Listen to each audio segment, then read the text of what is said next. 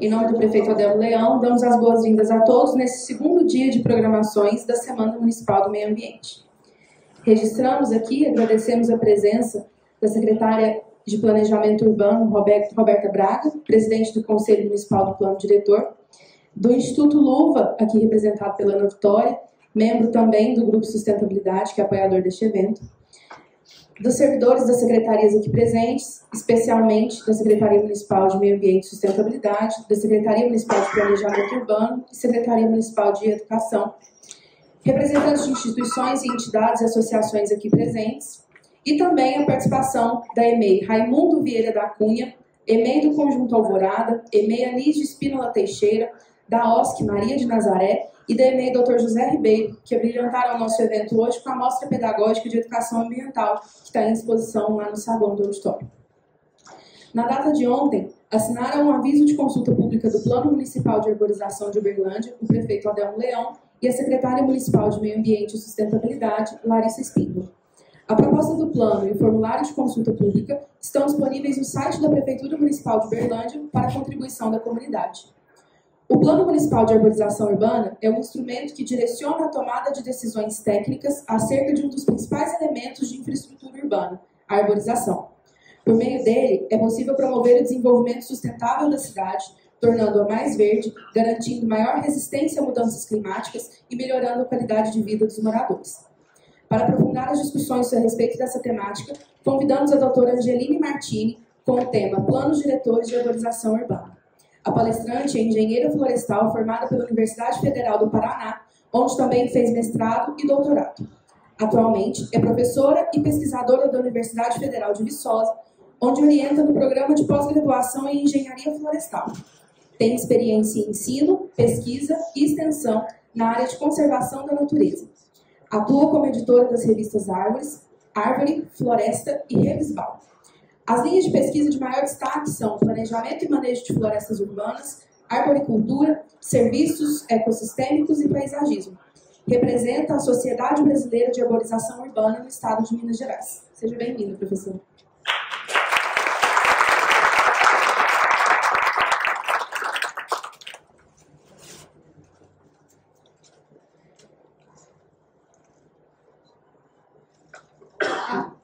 tarde a todos.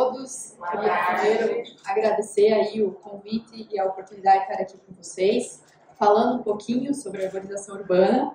E, né, em nome da Sociedade Brasileira de Arborização Urbana, eu gostaria já de parabenizar o município de Uberlândia por trazer na Semana do Meio Ambiente o tema arborização urbana, né, que é um tema aí muito importante, que a gente tem que cada vez mais falar sobre isso e para nós, da SBAL, né, é sempre uma satisfação muito grande poder trazer essa abordagem diante de todos os outros temas ambientais que nós podemos e devemos trabalhar no nosso município. Né? Então, eu gostaria de agradecer né, e parabenizar também aí a iniciativa. Tá? É, eu vou falar específico aí sobre plano diretor da arborização urbana, ou plano municipal da arborização urbana, né, a gente chama de diferentes formas, é, e ele é super importante falar sobre isso, né, principalmente porque a prefeitura está fazendo um lançamento desse plano. Né, então, provavelmente aí para quem colaborou na elaboração desse plano, talvez eu não traga muitas novidades, mas eu sei que muitas vezes carece de dissipar essa informação aí para vários outros setores de uma prefeitura, né, para a população como um todo. Então, eu vou tentar abordar um pouquinho sobre né, a estrutura, o que, que é, como que funciona o plano diretor e trazer aí a importância dessas questões relacionadas à arborização urbana. Se eu conseguir passar.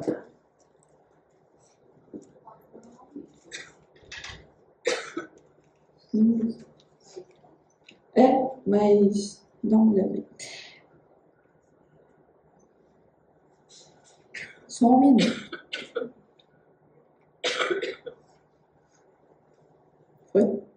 Obrigada. Mas a gente não tem como falar sobre a arborização urbana sem mencionar né, uma das questões mais importantes que nós estamos passando no nosso país, relacionada ao meio ambiente. Né? Então, como que eu vou falar da arborização urbana sem falar para vocês da, de uma das principais tragédias ambientais né, que nós estamos passando ainda do nosso país na região sul. Né? Então, o Rio Grande do Sul ainda está enfrentando uma série de problemas ocasionados com enchentes, né, desmoronamento e várias consequências advindas de níveis cada vez mais significativos de chuva no município. Então, não tenho como falar do porquê trazer vegetação para um ambiente urbano, é, senão para tentar minimizar situações como essa no município. Então, a gente tem visto né, ainda nos noticiários toda essa tragédia e que é reflexo né, de alterações que nós, seres humanos, causamos no ambiente. Então, falar sobre isso na Semana do Meio Ambiente não é novidade, mas falar que a arborização urbana pode contribuir para isso, às vezes, ainda é novidade. Né? Então, a arborização urbana ela tem uma importância muito grande justamente para tentar minimizar situações como essa literatura já traz há mais de 30 anos né, que a gente ter vegetação no ambiente urbano é uma das principais estratégias e formas de minimizar os impactos das mudanças do clima que estão sendo sentidas. Né? Então a gente ainda fala muito, né? Ah, no futuro nós vamos ter que conviver com as mudanças do clima, os impactos serão significativos, mas não é no futuro, né? O caso que está acontecendo no Rio Grande do Sul mostra que nós já estamos no futuro. É, não é uma preocupação para amanhã. Hoje a gente já tem que se preocupar em resolver situações como essa. A gente sabe também que as cidades vão ser as principais, é, aonde vai acontecer os principais impactos das mudanças do clima. Né? Então, onde tem mais pessoas, onde um ambiente como é prejudica a condição de escoamento de água, por exemplo, então, como que a vegetação contribui para isso? Por eu ter permeabilidade na minha cidade. Né? Qual que é a característica da nossa ocupação urbana?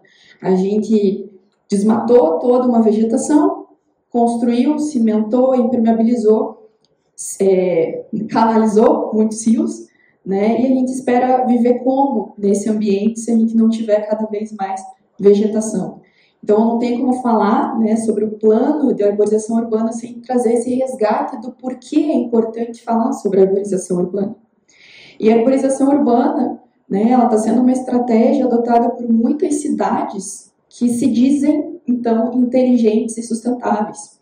Hoje está uma moda muito grande de falar, né, os municípios inteligentes, sustentáveis, são aqueles, então, que pensam antecipadamente, que causam ali é, situações que melhoram o ambiente e que isso vai se perpetuar, né? A sustentabilidade econômica, a sustentabilidade do povo, a sustentabilidade ecológica em vários níveis. E quando a gente fala dessa sustentabilidade, então, a gente tem que pensar que a arborização, além de contribuir inclusive para essa questão de mudança do clima, ela traz diversos outros benefícios para promover qualidade de vida hoje diante do estresse que as pessoas vivem no ambiente urbano, ela é fundamental.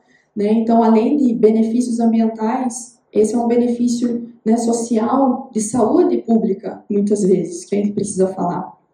E assim, resgatar a natureza no ambiente urbano né, tem se tornado uma estratégia de muitos municípios né, que buscam promover essa sustentabilidade.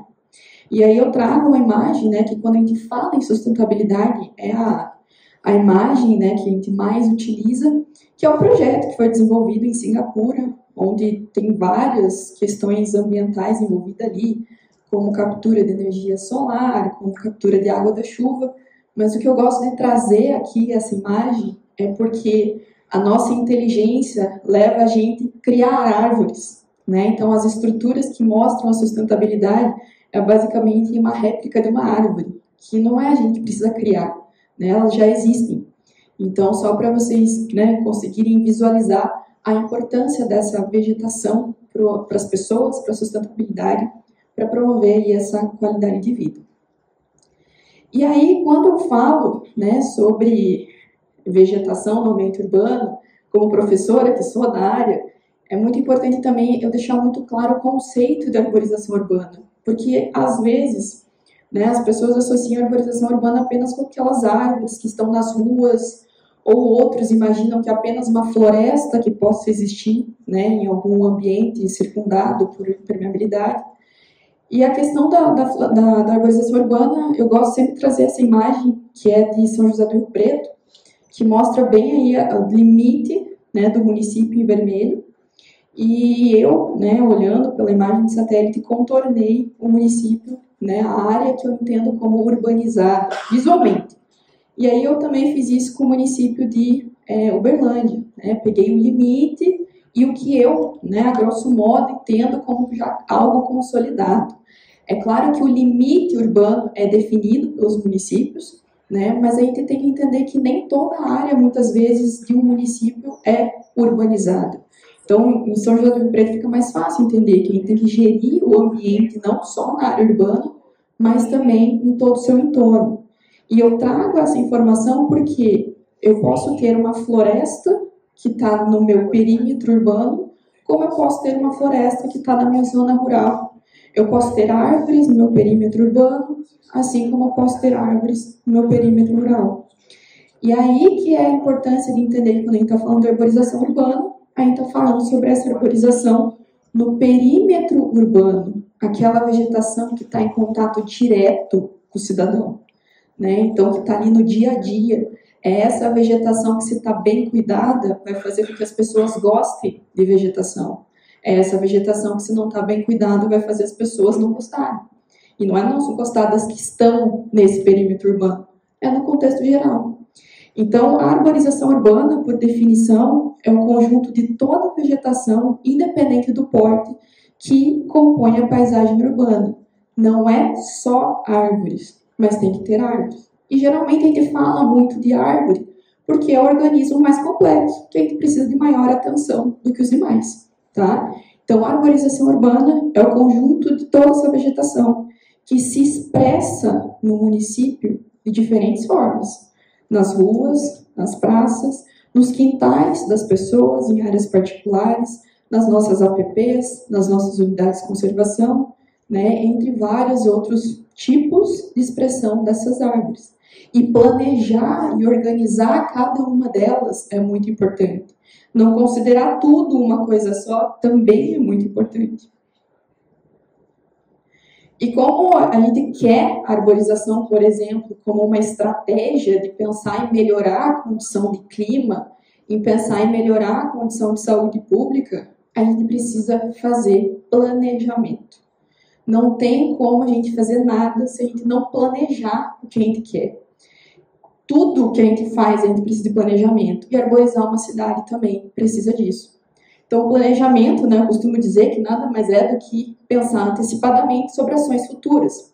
Ou seja, se eu sei que meu planeta está aquecendo, que eu vou enfrentar temperaturas mais altas, o que eu posso fazer para é, causar menos impactos para as pessoas? Né? Será que caminhar na sombra de uma calçada arborizada pode ajudar? né? É o tipo de soluções que a gente tem para planejar diante de um fator, aquecimento.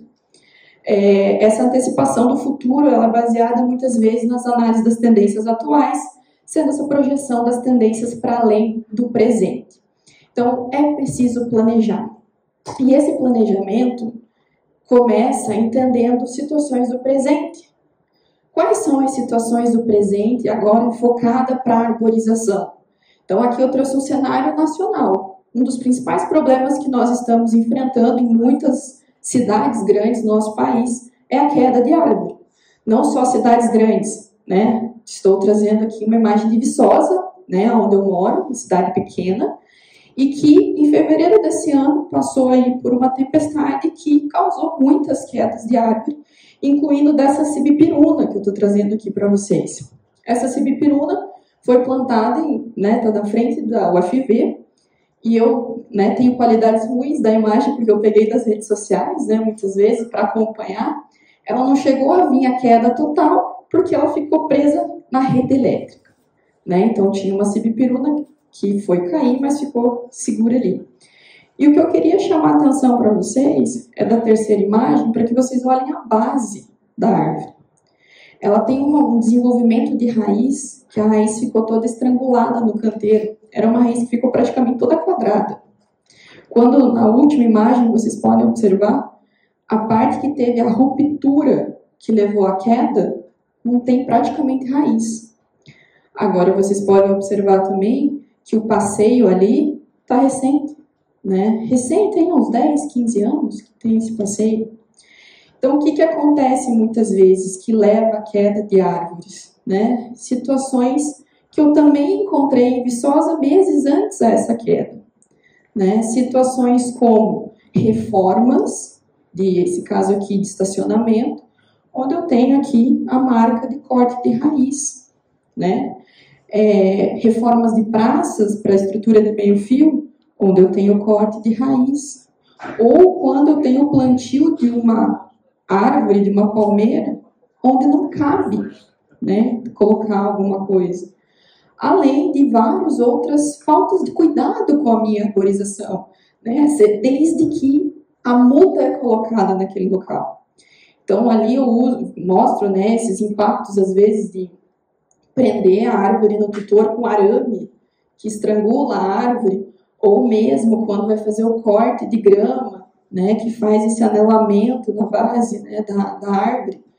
Tudo isso eu trago para vocês, para vocês verem que são ações que são cometidas sobre as árvores desde que elas são implantadas e que dali 30, 40, 50 anos são os motivos que levam à queda de árvore. A gente sabe que hoje o principal motivo de queda de árvore é falhas na base, ou seja, corte de raiz, falta de espaço para o enraizamento. E isso muitas vezes acontece porque não se tem conversa dentro de uma prefeitura, né, dentro de uma organização entre as diferentes partes. Né? Então, talvez Secretaria de Obra não saiba que, não, que vai passar um novo projeto de arborização ali, ou o projeto foi feito antes do que deveria. Tem uma série de falta de comunicação que faz com que a gente tenha problemas desde o início do estabelecimento da arborização, que no futuro levam à queda de árvores, por exemplo. Então a gente precisa criar medidas, criar estratégias para evitar esse tipo de situação. Tá? Então, o nosso planejamento, né, com base em situações reais, é tentar planejar melhor né, o estabelecimento melhor das nossas árvores nas cidades. E quando a gente fala desse planejamento, a gente tem que entender que sim, né, o município ele precisa se organizar quanto todas as árvores que estão nesse município, mas que é responsabilidade da gestão pública as árvores públicas, né? Cabe à prefeitura também legislar e fiscalizar a arborização particular, sem dúvida, né? Mas o trabalho direto de uma prefeitura quanto à arborização pública, ele costuma se dividir em duas é, frentes de trabalho, né? A gente gosta de dizer. Uma é a arborização de ruas, a arborização que acompanha ali a nossa calçada, né? Esse alinhamento, e as nossas áreas verdes.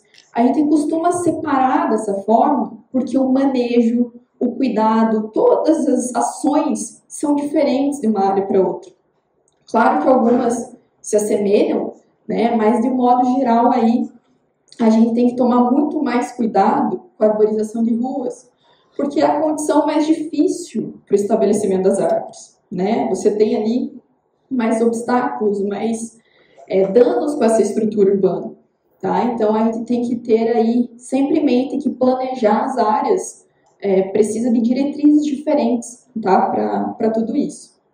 E aí que a gente chega, então, no famoso Plano Diretor de Arborização Urbana, ou Plano Municipal de Arborização Urbana, que é, então, um instrumento de planejamento municipal que adota medidas aí para preservação, manejo e expansão das árvores nas cidades, fazendo com que a arborização urbana contribua efetivamente para a melhoria da qualidade de vida.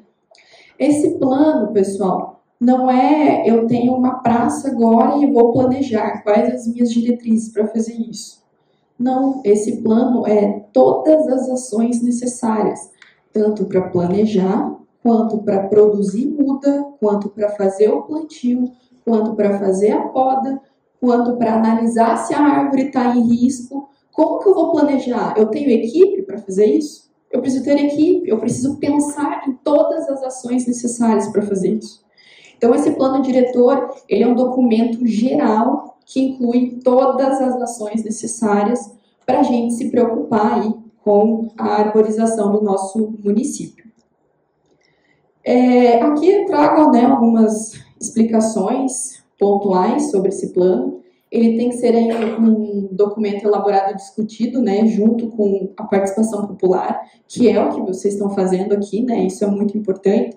Eu trago ali, né, o que costuma ter esses convites para a população, né, de, de diferentes cidades, e ele costuma ser um instrumento complementar ao plano diretor geral do município. Tá? Então, ele é importante para isso também, ele tem que estar embutido nesse plano né, diretor do município, também, então, com um horizonte dos próximos 20 anos. Né? Não é o que eu quero até o final desse ano, é o que eu imagino que a minha cidade precisa para pelo menos aí é, um período, né, pensar em 20 anos.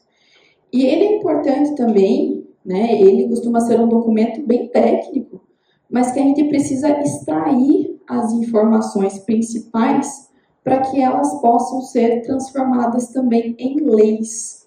Porque muitas vezes os técnicos não vão conseguir executar o plano se não tiver aí o apoio legal. Então a gente pega os principais itens desse plano diretor, desse documento técnico, para transformar aí então em leis né, do nosso município.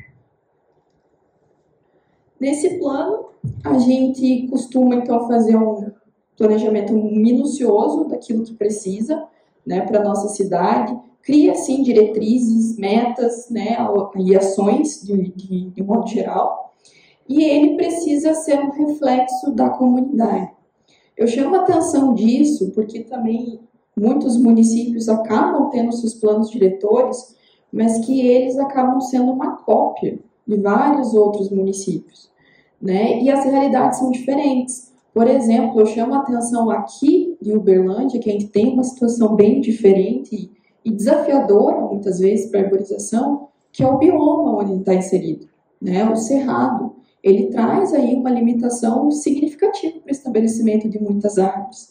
Então, aqui precisa ter essa atenção em específico sobre o cerrado, que outros municípios né, não vão sofrer, por exemplo, entender a questão de escassez hídrica, né, de períodos com e sem chuva. É importante dar a cara dos municípios né, para esse plano. E aí a gente estabelece metas né, a curto, médio e longo prazo. Por exemplo, a curto prazo, eu posso estabelecer no meu plano diretor que eu vou proibir no meu município, em qualquer situação, a poda de raízes de árvores. Se eu criar isso a partir de uma lei que é aprovada, eu consigo criar uma estratégia a curto prazo. Ao mesmo tempo, se eu quiser aumentar a cobertura arbórea do meu município, eu não vou conseguir isso a curto prazo. Isso é uma estratégia num prazo maior. Então a gente cria, estabelece as questões necessárias, definindo as prioridades, tanto para plantio quanto manutenção. E aqui eu trago uma imagem para vocês que é um pouco para discutir, né, por exemplo, qual tipo de situação a gente pode ter e qual o foco que a gente vai criar.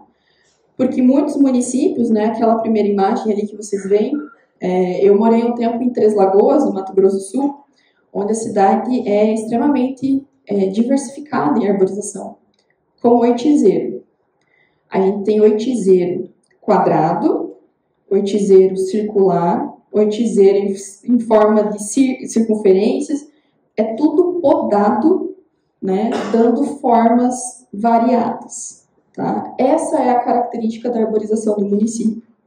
E aí eu sempre fico me perguntando, vale a pena eu ficar gastando dinheiro para ficar podando, essas árvores têm que ser podadas a cada quatro meses para ficar desse jeito.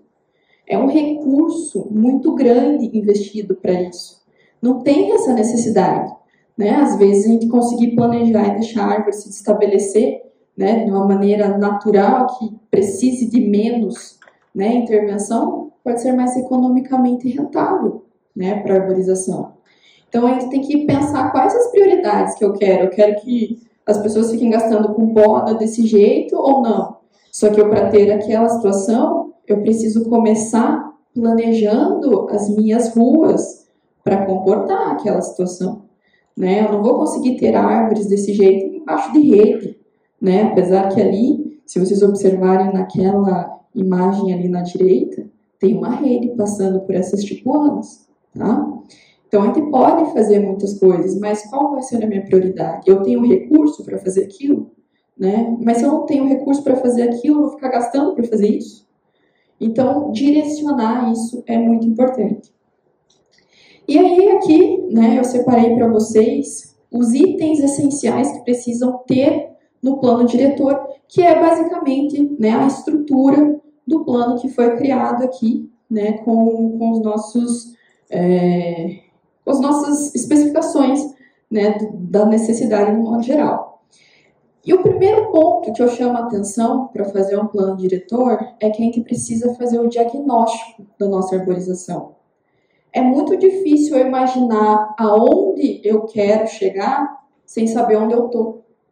Né? Então, sem saber quantas árvores eu tenho na minha cidade, qual a espécie mais comum na minha cidade, né?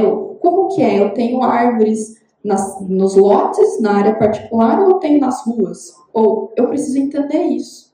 Isso é da cara do município, isso é o começo inicial. Então, isso é uma tarefa muito importante.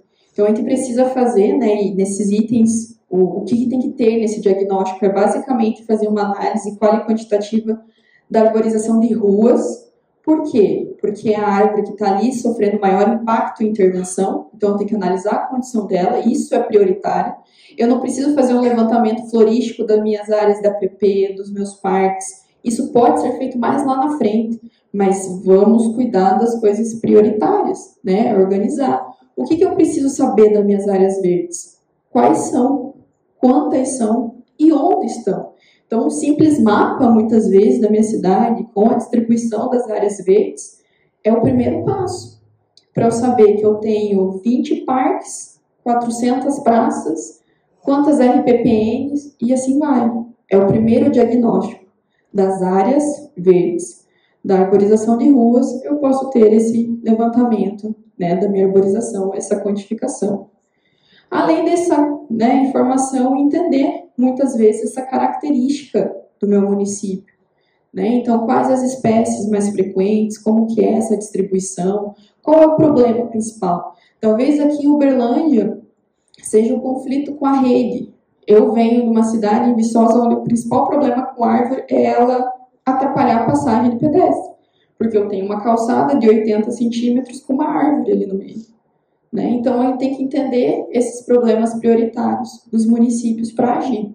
Tá? Então, com base nos problemas que são encontrados, que a gente vai criar essas estratégias. Então, a primeira coisa importante é fazer esse diagnóstico. Depois, sim, que a gente vai passar né, para o item que muitas vezes as pessoas acham que é só isso que é o plano diretor, que é as diretrizes de planejamento né, para a implantação de novas áreas. Então, aqui a gente vem né, para essas considerações gerais como um dos principais destaques, seleção de espécie. Como que eu vou selecionar as espécies para plantar os meus projetos? Né, eu trago aqui uma espécie muito apreciada, né, esteticamente, que é o flamboyant, essa copa né, vermelha. É, só que eu queria destacar que a gente não aceita mais a seleção de espécies só por ela ser bonita. Isso é uma coisa que a gente faz na arborização há 80 anos. Hoje a gente entendeu que as árvores prestam serviços ecossistêmicos. Elas melhoram a qualidade do ar, ela permite a infiltração de água no solo, ela captura carbono, ela gera muitos benefícios ecossistêmicos. Então a gente tem que se preocupar em escolher espécies para aquele serviço que eu preciso naquele local, né? E aí eu chamo a atenção também que tem que parar um pouquinho dessa romantização da arborização. Infelizmente, né, do plantar árvore, que é uma das atividades que todo mundo tem que fazer antes de morrer. Plante, mas garanta que ela vai viver, porque hoje todo mundo planta das costas e ela morre, porque não sabe plantar, porque planta errado. Tá? Então a gente tem que ter aí esse cuidado é, de ter um respaldo técnico e entender que sim, tem profissionais atuando nessa linha de frente com relação à arborização. E aí, quando eu falo nisso, desses serviços ecossistêmicos, é pensar que, por exemplo, numa rua, na minha, eu faço um mapa de ilha de calor do meu município. Eu identifiquei que aquela rua é muito quente. Eu preciso colocar sombreamento para as pessoas andarem naquela rua. Faz muito mais sentido eu colocar um sombreiro, pelo próprio nome, do que uma palmeira. Então, para esse benefício ecossistêmico de né, redução da radiação solar, eu vou precisar da minha espécie mais favorável para isso. Se o meu objetivo é atrair fauna, talvez em um parque, para atrair pessoas para esse parque, eu tenho espécies mais adequadas. Então, por exemplo, ali, eu trouxe imagem também né, de cidades né, no Mato Grosso do Sul que costumam ter aí as araras. É aqui elas adoram as palmeiras. Para isso, as palmeiras são ótimas, né? Atração de fauna. A palmeira, nesse caso, se comporta muito melhor do que o ipê roxo para essa fauna, tá? Com relação à beleza, né? É, ah, mesmo assim, eu acho que tem que pensar nisso. E ok, é uma estratégia. Mas aí eu trago duas plantas maravilhosas. Ipê amarela e cerejeira do Japão, né? Não dá para dizer, é gosto também, né? Cada um vai, vai achar uma coisa ou outra. Mas se eu pensar que eu quero manter a diversidade biológica do meu município, eu vou priorizar espécies nativas do que espécies exóticas. Se o meu propósito é melhorar essa diversidade, as nativas fazem toda a diferença. Agora, se para um sombreamento, né, nem tanto. Então, a gente tem que ter essa, essa ideia de que as árvores respondem a determinados fatores. Tá? Então, aqui, essa comparação. E nessa questão estética, né, se a gente vai falar de estética, jamais a gente poderia admitir situações como aquela. Né? Então, se eu estou colocando árvore só para deixar bonito, fazendo poda de destopo, isso não vai conseguir, não, isso não vai ser feito. Tá? Então a gente tem que começar a não admitir mais essas coisas. E para não admitir mais essas coisas, que a gente cria esses nossos é, critérios e considerações iniciais sobre planejamento, né? Para evitar tudo isso. Então, quando a gente está falando desses critérios iniciais, eu falei né, sobre essa escolha de espécies, então, pensar nesses serviços ecossistêmicos, mas tem outros pontos importantes, como definir né, realmente quais espécies eu autorizo que os munícipes plantem tá, no perímetro urbano, listar esse elenco de espécie, é, listar também aquilo que não se recomenda, listar aquilo que é proibido no município. Muitos municípios têm a sua legislação proibindo algumas espécies, sim. Então tem que deixar tudo isso claro. Critérios para definição de plantio. E aqui que começa, por exemplo, né, pensar se eu quero ter árvores grandes, eu preciso de calçadas grandes, né? É o ponto chave. Eu não tenho como né, colocar árvores grandes numa calçada de dois metros. Então, se eu quero que a arborização seja composta por árvores de grande porte, preciso ter calçadas largas. Preciso deixar canteiros para que as árvores se desenvolvam largos, que ela possa se enraizar. Né? Então, eu crio esses critérios e coloco nesse plano, além de definições né, das distâncias mínimas, de não colocar árvore na esquina, do lado de garagem, e uma série de outros pontos. E ainda fazer indicação dos novos locais de plantio, geralmente no, no mapeamento. Né? A gente sabe hoje, por uma questão muitas vezes de justiça ambiental, que bairros mais nobres são mais arborizados do que né, bairros com menos recursos. Né? Pode ter outras variações no município, então a gente precisa espacializar isso, identificar as áreas que precisam, então, aí de arborização. É, além dessas diretrizes de planejamento, tem que ter as minhas diretrizes de plantio. Né? Hoje eu tive a oportunidade de visitar o horto, então Uberlândia aí produz suas próprias mudas, isso é super importante e interessante, e isso precisa ser registrado, que essas mudas com qualidade vêm do horto, que eu não posso sair colocando qualquer muda, né, de qualquer porte na minha arborização. Então, definir as características das mudas, né? A gente não planta muda de 30, 40 centímetros, é super mais barato para orçar, muito mais barato, mas você vai jogá-las fora, porque ela não vai funcionar. Né? A arborização, a gente vai colocar aí né, nas praças, no, na, na arborização viária, mudas maiores para resistir principalmente ao vandalismo. Tá? Então a gente precisa definir e estabelecer. É um ótimo critério para colocar que os municípios põem em lei. Só se planta árvores com pelo menos 2 metros de altura. Né? Começa a estabelecer isso na legislação. Aí definir sobre essa produção ou aquisição de mudas, né? como que vai ser no nosso município isso. Né? Como eu falei, aqui tem a produção de mudas, então tem que valorizar isso dentro da, da, da organização. É, quais vão ser os nossos procedimentos de plantio e replantio? Eu vou usar tutor, eu tenho que pôr tutor aqui, venta muito. Se você começar a deixar o vento agir sobre as mudas, elas vão crescer todas tortas. Né? Então eu preciso de tutor. Que estrutura de tutor eu vou colocar? Né? Eu tenho bambu, eu vou colocar madeira.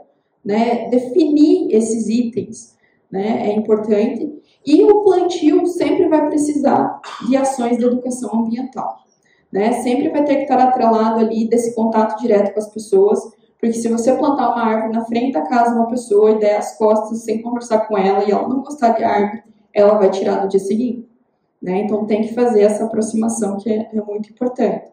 Então esse a gente chama de plano de plantio, tá? Então não é só o planejamento, é as estratégias de como plantar a arborização. Também precisamos criar um plano de manutenção quais ações vão ser realizadas para manter aquelas árvores existindo? Principalmente podas, né? Que principalmente a gente aplica para evitar conflito. Mas que tipo de poda eu posso fazer? Eu posso fazer só poda de levantamento, de rebaixamento, né? Eu posso fazer a poda direcional para desobstrução da rede, que é o que a Semília realiza, né? Eu admito na minha cidade poda de destopo, se eu não admito, é aqui que precisa colocar. Né? Então, criar essas estruturas e ainda, se possível, né, pensar nesse destino das podas, que muitas vezes é um problema. Né? Então, criar essas estruturas, além de outras técnicas de manejo que podem ser necessárias, como como que eu vou garantir irrigação, adubação, né, e vários outros itens. Tudo isso precisa ficar descrito no nosso plano. E aí, esse aqui eu gosto de falar muito porque eu acho importante, que é o plano de remoção ou substituição. Precisa ter um plano de remoção e substituição, porque senão toda vez que uma árvore do município for cortada, alguém vai lá abraçar a árvore e não deixar cortar. Isso é natural. As pessoas não entendem que no ambiente urbano uma árvore pode sim chegar a, a causar mais prejuízos do que benefícios, né? Então a gente precisa prever como que a gente vai lidar com isso para evitar que qualquer pessoa interfira nessas ações. Quais vão ser os critérios? Vou remover só a árvore que está em risco iminente de queda? Vou remover a árvore simplesmente porque vai construir ou autoriza a remoção de qualquer árvore? Né? Criar essas estruturas, né? criar essa especificação é muito importante, assim como as ações indenizatórias. Então, eu vou cortar uma árvore, como que eu vou compensar isso? Será que de uma árvore de risco eu preciso compensar? Eu estou compensando já evitando danos para minha cidade. Né? Será que isso não é só para outro sistema de construção, talvez? Né? Então, precisa especificar ações como essa, tá? para evitar aí uma série de, de problemas. Aqui eu trouxe para vocês também relacionado a plantio e manutenção, que hoje a gente já tem alguns avanços, onde a SBAL contribuiu muito também, uma equipe, para a elaboração das ABNTs sobre aí manejo de árvores urbanas, né, da floresta urbana. E há um mês atrás saiu a última que estava faltando, né, que era a, a parte 2 dessa norma. Então, nós temos hoje uma norma da ABNT tá, para florestas urbanas relacionado à poda a segurança em serviços de arboricultura, que a gente muitas vezes vai precisar subir e escalar em árvores, então quais são os equipamentos, qual que é todo o cuidado relacionado a isso que precisa. A gente tem uma norma para avaliação de risco de árvores, tá? Então essa aqui é muito importante. E também para manejo de árvores em obras. Então a gente já tem uma BNT também para dizer que a gente não pode sair pendurando estruturas de obras nas árvores, né, ralando a árvore aleatória. Né? Então, a gente tem isso hoje um pouquinho como respaldo técnico para ser trabalhado. Tudo isso ajuda, essas normas ajudam a gente a compor o nosso plano diretor, porque a gente já pega dali muitas informações. Continuando os itens, a gente precisa também ter um plano de monitoramento. Esse plano de monitoramento, pessoal, a gente não pode achar que a gente vai conseguir monitorar todas as árvores do nosso município. Isso não existe. Mas a partir do momento que eu tenho um relato de risco, aquela árvore automaticamente deve entrar no meu sistema de monitoramento. Tá? Por mais que eu acho que naquele momento né, não vai cair, eu vou ter que monitorar dependendo do grau de intensidade dos danos que essa árvore possa ter. O monitoramento pode ser para eu entender uma praga que está acontecendo no meu município.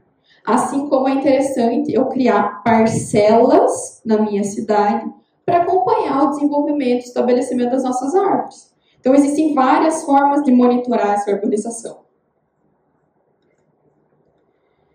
E eu né, queria chamar muita atenção desse item que precisa ter no plano diretor também, que é o plano de informação ambiental e o plano de educação ambiental. É necessário, gente. Todo mundo acha que sabe plantar uma árvore, todo mundo gosta de árvore, todo mundo acha que tem poder sobre árvores públicas, particulares, o que for. Né? A gente precisa organizar um pouco essa ideia das pessoas. É muito importante que as pessoas gostem das árvores, mas as ações que elas praticam quanto às árvores também precisam de respaldo técnico para não virar problema de boas intenções, né? A gente tem um ditado que diz, né, que o inferno está cheio. Não é nesse nível, mas muitas vezes, gente, a pessoa planta lá uma muda na melhor das intenções, aquela muda bonitinha, porque é seu propósito de vida, né? Os 100 itens que tem que ser é, seguidos na vida, plantar uma árvore, e daquilo dali 10, 20 anos vira um monstro para a cidade.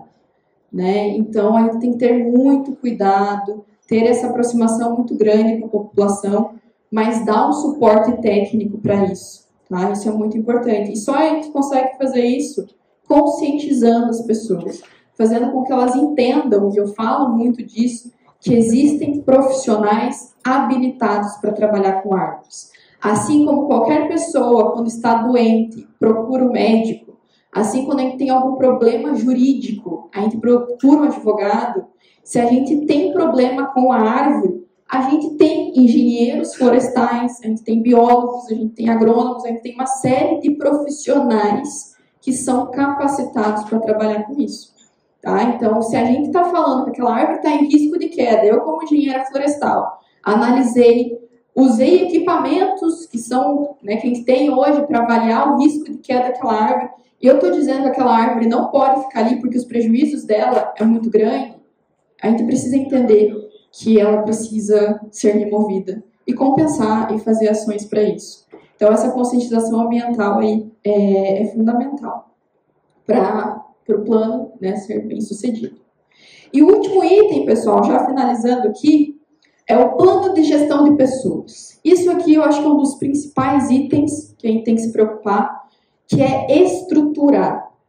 Não adianta eu fazer, e eu falei né, aqui para o pessoal também, que eu achei muito interessante o plano ter sido feito pelos técnicos da prefeitura. Isso é muito bom, porque muitas vezes prefeituras contratam consultorias que fazem lá o copia e cola de outros planos e quando você vai executar que não serve de nada, porque não tem noção nenhuma do funcionamento daquela prefeitura. Como que ela é dividida e estruturada, como que ela é organizada? E quantas pessoas vão trabalhar com isso. Então a gente precisa ter esse plano de gestão para indicar principalmente as áreas que a gente precisa atuação, indicar a qualificação profissional, né? Cada um tem suas atribuições profissionais, não pode sair fazendo tudo, né? E aí sim definir as ações e tarefas a serem executadas nesse plano né? Então, estruturar essa equipe, tá? E quantidade de pessoas e tudo mais. Então, esse seria o nosso último item e que compõe todos esses essas obrigações que tem no plano. Só para deixar claro também, né, que a arborização urbana ainda funciona como uma bagunça no nosso país. Porque enquanto a gente não tem leis sobre isso, as coisas funcionam meio mal. Mas nós temos né, um projeto de lei que está no Senado desde o ano passado, que visa, então, instituir a Política Nacional da Arborização Urbana. Tá? Uma equipe também da nossa sociedade aí trabalhou para a redação tá, desse plano. Ele está em votação, ele tem muita expectativa que ele não fique muito tempo né, para aprovação. E dentro dessa política nacional, a gente tem sim um item que trata dos planos municipais, onde aí sim será obrigatório todos os municípios com mais de 20 mil habitantes criarem seus planos diretores de arborização urbana, que vai ser um complemento dos planos diretores. Tá? Então, isso aqui ainda não é realidade, mas está em votação, e assim os municípios vão ter que se é, adaptar a tudo isso. E para finalizar, né, eu trouxe aqui mais para divulgar a nossa sociedade, né? Então eu pertenço aí à Sociedade Brasileira de Arborização Urbana. Na verdade, sou professora da Universidade Federal de Viçosa, mas sou associada à SBAL. Né? A SBAL é a sociedade então que reúne todos os profissionais, busca reunir todos os profissionais da área da arborização urbana. E o foco da sociedade é principalmente difundir informações sobre a arborização através da realização de eventos. Então, todo ano tem vários eventos organizados pela SBAL. Nesse mesmo momento que a gente está aqui, a gente está tendo o, primeiro, o segundo Fórum Paulista de Arborização Urbana em Jundiaí, né, que vai até o sábado. Na próxima semana está acontecendo o Fórum Paranaense de Arborização Urbana na cidade de Curitiba. E eu queria né, divulgar o nosso evento anual nacional, Todos os anos, a SBAL organiza o CEBAL, né, o Congresso Brasileiro de Organização Urbana, que realmente é itinerante. Cada ano está numa região do, do, país. E esse ano a gente vai estar na cidade de Belém, tá, no mês de, de setembro, onde a gente tem aí muitas reunião realmente de muitos profissionais que atuam na área. E aqueles que tiverem mais curiosidade, que atuam realmente na área da urbanização, convido vocês né, a verem aí nosso site e conhecer mais o trabalho da, da SBAL que eu estou representando.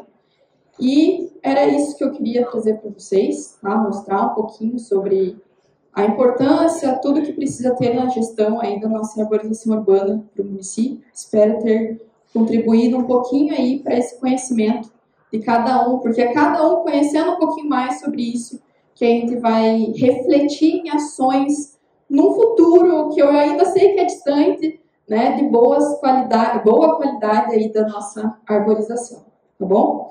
Muito obrigada, pessoal.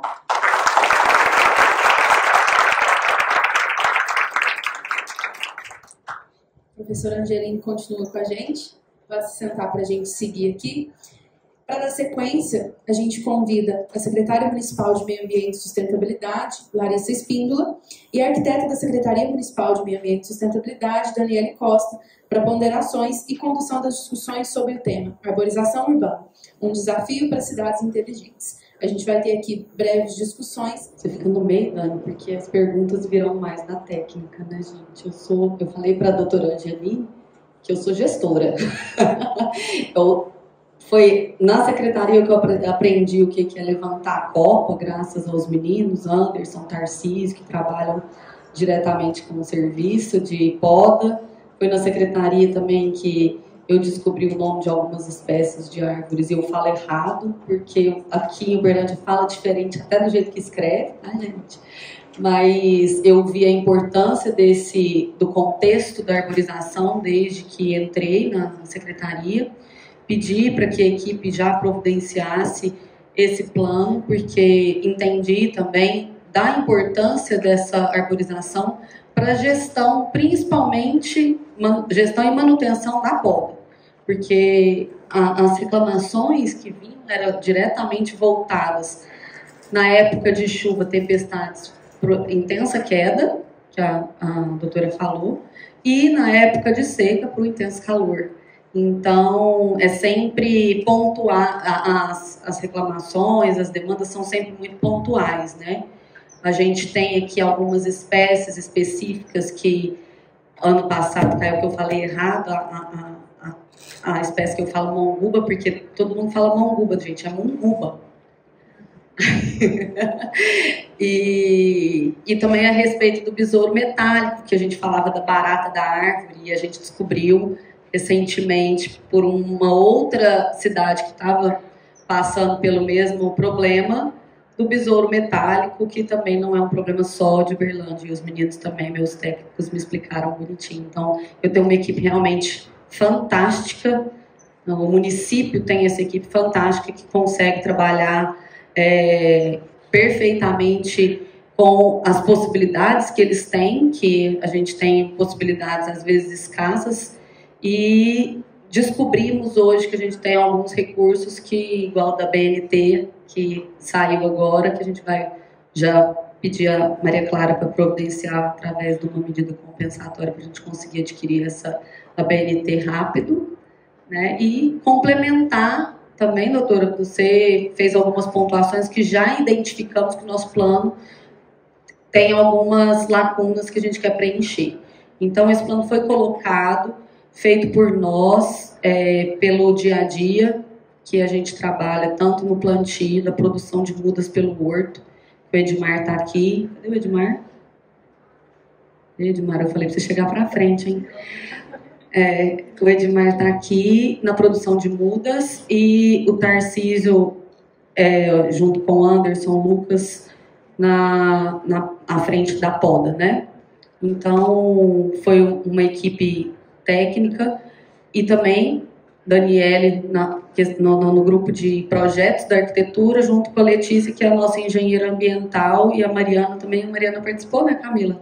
Também da, da confecção do nosso plano. Então, a Stephanie Schubert, cadê ela? A Stephanie Schubert da Educação Ambiental também contribuiu bastante. E se eu tiver esquecendo de alguém de nomes aí, gente, levanta a mão e fala, porque eu acho que é muito importante eu falar do Tarcísio, eu já, já falei. E muito importante eu falar e, e destacar o trabalho deles, porque eu também, eu também falei, acelera. É, eu vou passar para a Dani fazer as perguntas. Eu acho que é importante também a participação do pessoal do planejamento, porque, doutora Angeline, como você disse, as pessoas que participam do, de, desde o início até do fim, na hora também que faz a, o corte da raiz, que eu não sei se tem alguém da Secretaria de Obras aqui, eu pedi para o pessoal descer, mas não desceu não. Deixa registrado. Bom, eles estão trabalhando, a gente entende, mas eu pedi para filmar exatamente para isso. É, porque eles também estão aqui no desenvolvimento desse trabalho. Então, acho importante a participação de todo mundo, porque a professora está aqui para tirar as dúvidas e nos ajudar. Muito obrigada.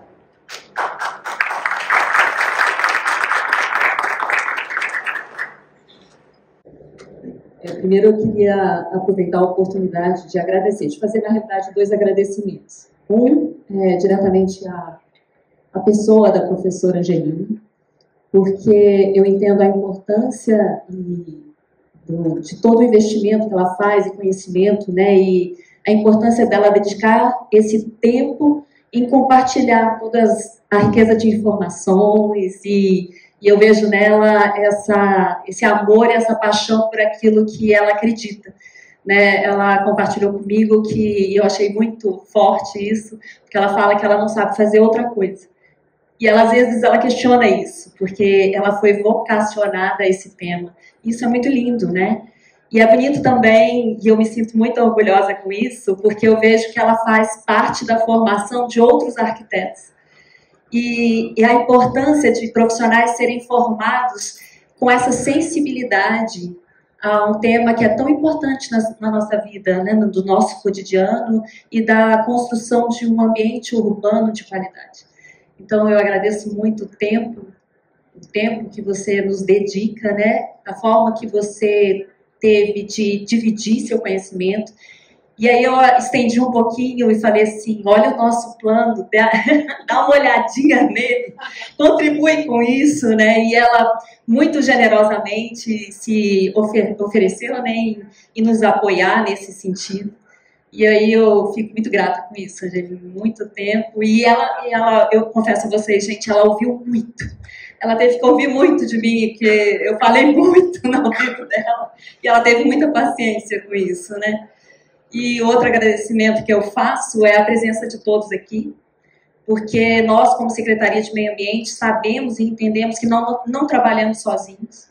E para que a gente possa realizar aquilo que foi investimento dessa equipe, a gente precisa da colaboração e contribuição de vocês.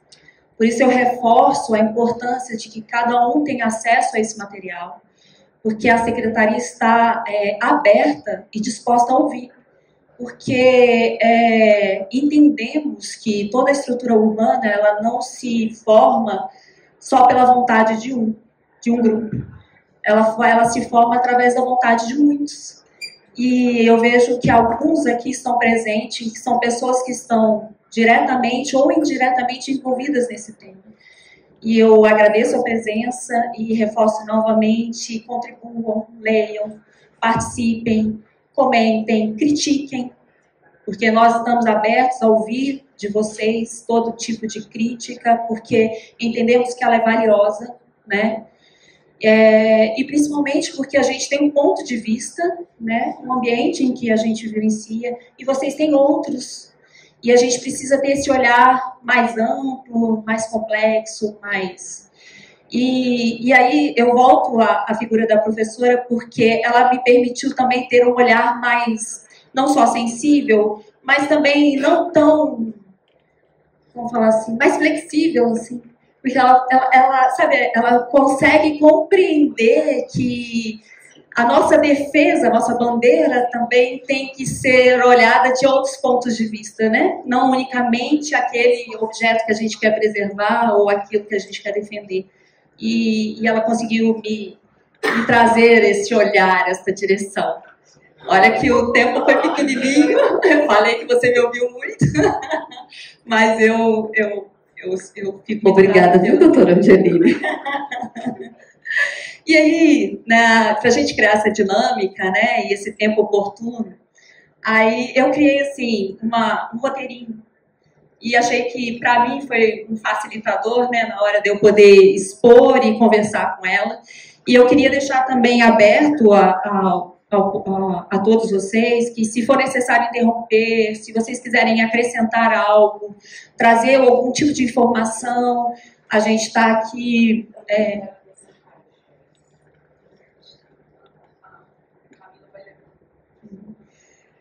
e.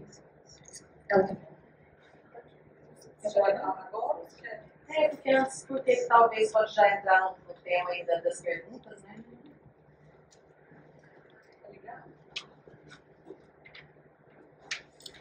Boa tarde, tudo bem?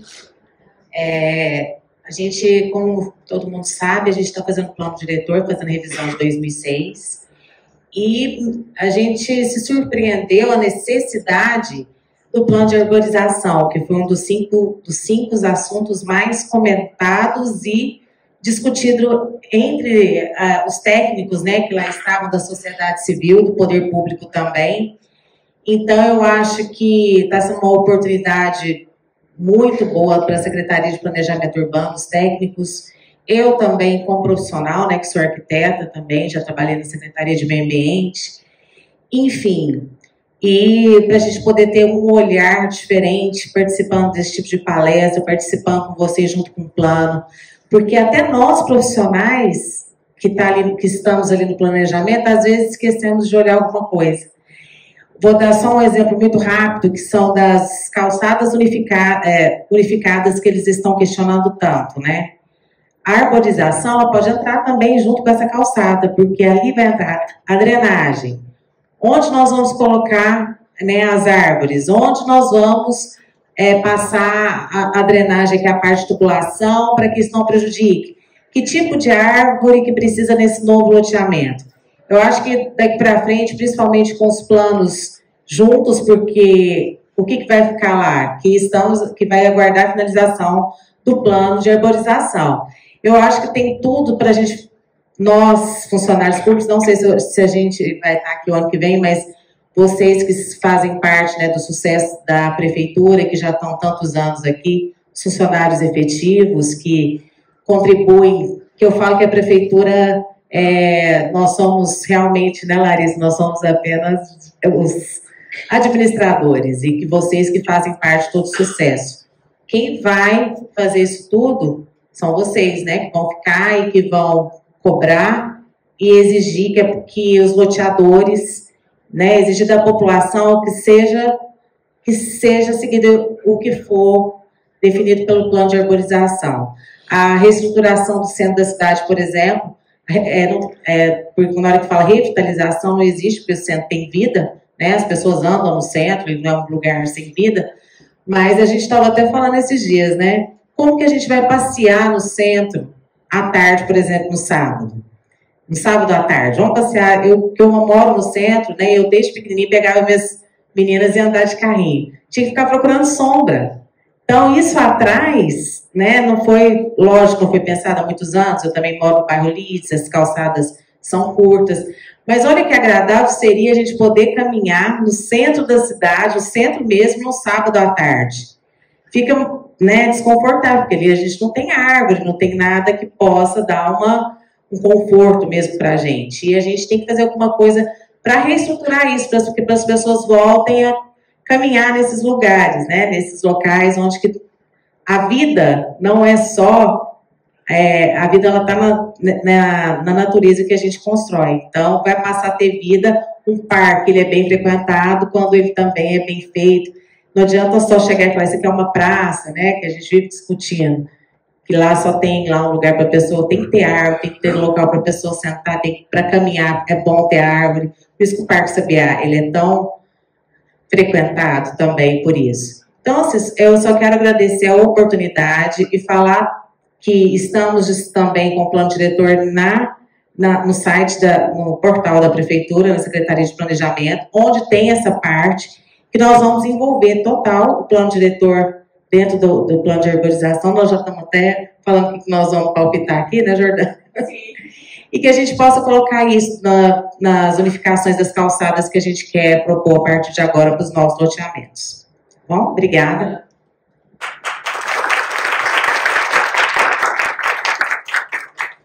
Então, eu vou iniciar essa, essa nossa conversa. Eu falo, eu, eu tinha mencionado né, que, como facilitador para mim, eu criei um roteiro. Sim. E aí me perdoem, porque em alguns momentos eu vou ter que ler, porque eu não tenho essa, essa, esse domínio da oratória. Né? Então eu quero ficar bem à vontade, estamos entre amigos, né? entre colegas de trabalho. Ah, lógico. E, é, Angelina, eu queria começar a iniciar é, tratando um tema que é bastante atual e é no, mais no ambiente é, mundial, né? E é, esse tema envolve, aborda um contexto mais abrangente, e seria é, quanto à informação da, da ONU, que traz algumas estimativas, né? Então, essas estimativas trazem, apontam né, que a população das cidades alcançará cerca de 60% da população mundial até 2030 e aproximadamente 70% até 2050. Ou seja, 6,5 bilhões de pessoas ocupando 3% da superfície do território do planeta sendo responsáveis por 75% do consumo mundial de energia e 70% da emissão de gases de efeito estufa. É, já na América Latina, uma das regiões mais urbanizadas do globo, com diversas cidades entre as mais populosas do mundo, estima-se que cerca de 80% da população vive em cidades. Assim, as árvores urbanas são um item estratégico para confrontar as ameaças à qualidade da vida dos cidadãos. Aí, diante das atuais tendências de expansão urbana, sabendo que este aumento de áreas urbanizadas traz consigo inúmeros impactos negativos à qualidade ambiental, à qualidade ambiental urbana, com aumento de impermeabilização do solo, aumento da emissão de gases tóxicos, aumento de resíduos, resíduos sólidos e, consequentemente, aumento da temperatura e possíveis riscos de enchentes, do ponto de vista ambiental, quais deveriam ser as ferramentas mais apropriadas, tanto na esfera pública quanto na iniciativa privada, para minimizar estes impactos? Uma pergunta que dá para ficar horas aqui falando, né? Mas muito importante. É, primeiro, queria agradecer pelas palavras, né, pela receptividade de vocês. É, com relação à pergunta é, a área ambiental é muito completa, então tem, tem vários setores, mas eu não consigo não falar um foco prioritário que é educação ambiental. Eu acho que não tem como a gente pensar, gente vai criar estratégias, a gente vai criar medidas para tentar buscar muitas vezes ações mais imediatas, mas vai se resumir sempre a mudanças de hábitos e de cultura da nossa sociedade. Né? Então, a nossa sociedade precisa evoluir nas questões ambientais. Eu acho que esse é o, o principal ponto, né, chave. Então, investir em estratégias de educação ambiental para que a sociedade passe naturalmente a olhar uma árvore e entender que ela é mais importante do que um carro. Porque a gente não vai conseguir criar estratégias urbanas colocando. É, é a estratégia né, de todo município. Vamos criar mais vias para caber mais carro, para dar mais fluxo para o trânsito. Né? Mas muitas vezes, para colocar mais vias ali, a gente vai tirar espaços onde caberiam árvores diretamente, né, eu não consigo falar, e não vou falar muito da parte ambiental como um todo, que né, existem as especificidades, mas com relação à arborização urbana, né, focada aí para minimizar esses impactos, ela é hoje a nossa estratégia básica de adaptação e de mitigação das mudanças do clima. Né? Então a gente sabe que essa é a estratégia básica de você colocar cidades com maior taxa de permeabilidade. Né? É, foi o nosso padrão, cimentar tudo. A gente aprendeu, a gente viu que cimentar tudo não deu certo. Né? Então, vamos voltar. Né? Então, é, existem uma série de ações. Eu acho que na parte pública, a questão é realmente legislar e, e res, se responsabilizar. Os municípios precisam tratar, de fato, a parte ambiental como algo importante. Então, eu falo isso, assim, de já conhecer muitas realidades de prefeituras, é, a gente como cidadão a gente já percebe as cidades, né? Não precisa estar diretamente ligado, né, à técnica, né, ao pessoal técnico das prefeituras. Ninguém dá valor ao ambiente. É, é isso na base. Na base a gente vai sempre priorizar educação, saúde, segurança, porque isso é o produto que chama atenção e o ambiente vai ficando de lado. Então, isso é uma questão que eu acho que é muito mais social do que alguma ação e alguma medida concreta. Eu acho que esse é o principal ponto. O que dá para fazer de concreto, basicamente com relação a essas mudanças do clima, para a condição de saúde pública, é revegetar as cidades, os espaços possíveis, criar cada vez mais áreas verdes, criar cada vez mais espaços para você poder ter vegetação, não só nas áreas públicas, mas legislar a favor disso nas construções, né, que as pessoas tenham seus espaços permeáveis, né, no, no lote, que ele seja composto. Muitas cidades fazem isso, eu peço desculpa por não conhecer a legislação do, do município, mas de colocar é, porcentagem, cada loja tem que ter lá 30%, 40% de área permeável, mais próximo das áreas de inundação que pode ter no município, criar essas estratégias. Isso eu acho que é o maior dever do poder público. E a iniciativa privada é fazer o que tem que fazer um pouco, né? Então, criar as estruturas básicas daquilo que, que funciona. Loteamento, gente. Qualquer pessoa em sã consciência hoje já vai preferir ir comprar, adquirir um lote onde você tem uma área com uma rua arborizada, onde você vai ter um parque. Você vai conseguir vender aquilo lá muito mais fácil, né? É que às vezes a gente quer economizar na parte final, de, inicial, né, de fazer aquele loteamento, mas não pensa em tudo quanto poderia acrescentar. A gente sabe que né, os condomínios com suas áreas verdes bem planejadas, eles conseguem ser aí muitos, muitas vezes muito mais valorizados, né, e, e um, dar um retorno. E no fim das contas é o retorno financeiro. A partir do momento que você começa a mostrar, ó, isso aqui está valendo mais do que aquilo, né, acho que atrai mais e explica mais a iniciativa privada essas ações né, do, do que fazer. É, quando eu estava pensando, elaborando, né, como conduzir esse momento, eu falei assim, eu vou fazer uma pesquisa, porque mesmo eu como arquiteta, e a gente sabe com base da nossa educação, faz é, a história da arquitetura, o planejamento urbano, né? Mas eu falei assim, gente, qual é a história da arborização urbana do, do Brasil? E eu realmente não sabia. Eu confesso a vocês que não sabia. E aí eu fui dar uma pesquisada, eu vou dar uma resumida aqui para vocês, que eu não sei se alguns alguns com certeza devem saber, né, mas alguns de vocês também não sabem. E eu acho extremamente importante a gente contextualizar o tema através da história. Para a gente entender, a gente entende o nosso dia, hoje, através do nosso passado, que do ontem, né, para estabelecer o, o amanhã, né? Isso é extremamente importante. E aí nessa minha pesquisa, é, eu percebi assim, é, eu comecei a, a, olhar e aí eu vou compartilhar aqui, vou novamente ler, né, o que, que eu, eu, eu busquei e fala que é, a urbanização urbana do Brasil, sabe-se que as primeiras iniciativas voltadas ao tema datam, datam do século XVIII, com o surgimento de hortos botânicos de caráter mais científico e com o claro objetivo financeiro de encontrar na flora nativa alternativas ao mercado de especiarias da época, porque era o que movimentava. O nosso modelo urbanístico tinha uma enorme influência europeia, com ruas estreitas, ausência de calçadas, construções geminadas e sem afastamento. Afastamento frontal, espaços completamente inadequados para acolher a vegetação de porte arbóreo. Com o passar do tempo, a rua passa a adquirir status social e os primeiros exemplares arbóreos surgem, porém com função meramente estética. Com o aumento da densidade populacional, surge uma cultura salubrista que permitiu, mesmo na intensa valorização das áreas centrais, a manutenção de grandes áreas livres. E a partir do século XIX surgem as primeiras iniciativas para estimular a arborização da cidade e com ela o entendimento que a existência da arborização de suas ruas seria de vital importância na qualidade ambiental dos espaços públicos. O século XX é marcado pela implantação de diversos parques urbanos, onde a cobertura vegetal passa a ocupar um lugar de destaque. Fica evidente que este tema é uma prática relativamente nova no Brasil.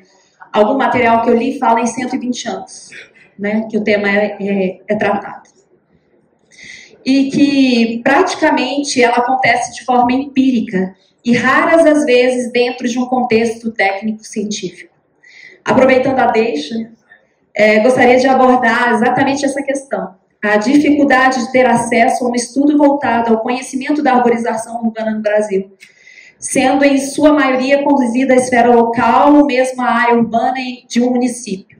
Mesmo já tendo abordado este assunto, é, gostaria de que comentasse sobre como enxerga e qual será a efetiva importância de se estabelecer um plano nacional para a arborização diante da grandeza territorial do nosso país e de sua diversidade de biomas e culturas.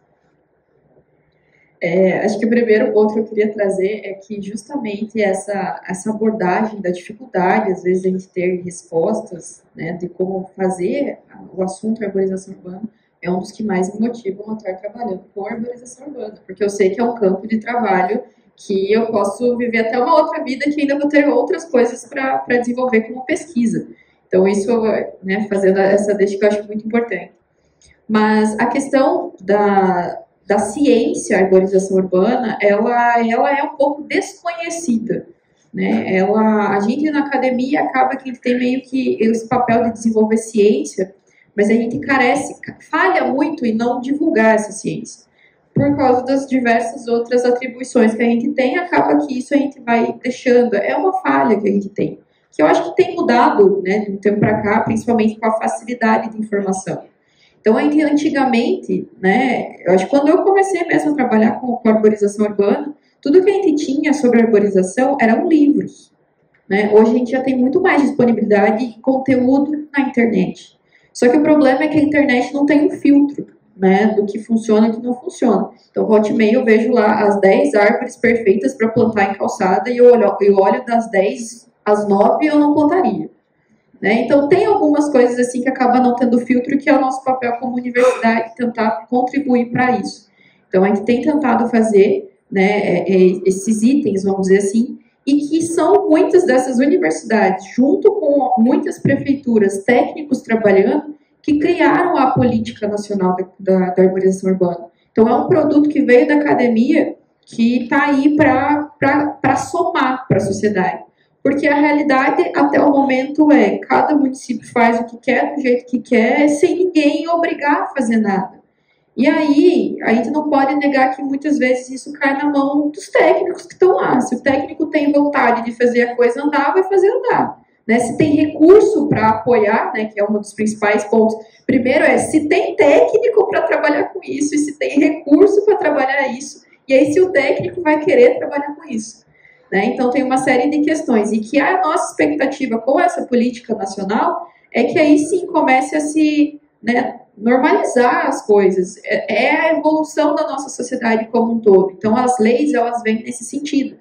Nós, da engenharia florestal, nós trabalhamos muito com o Código Florestal, que é a legislação nacional, que interfere em todas as nossas áreas da PP, de reserva legal e tudo mais. Ele não é perfeito, ele tem muitas falhas, mas sem ele, a gente vê que teria muito mais problemas. A Política Nacional de Arborização Urbana vai ser a mesma coisa. No primeiro momento, ela vai ter uma série de problemas, assim como qualquer plano diretor de arborização urbana, mas é o começo necessário.